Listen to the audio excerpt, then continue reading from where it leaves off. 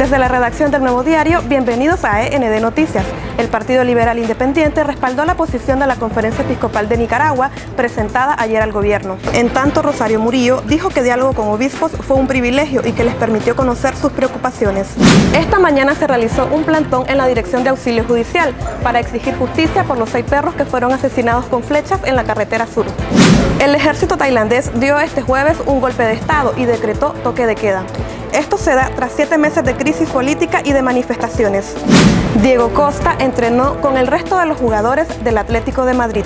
A pesar de su lesión en el bíceps femoral, podría participar de la final de la Liga de Campeones contra el Real Madrid. Will Smith y su esposa Yada Pinkett están siendo investigados por el Departamento de Servicios Infantiles.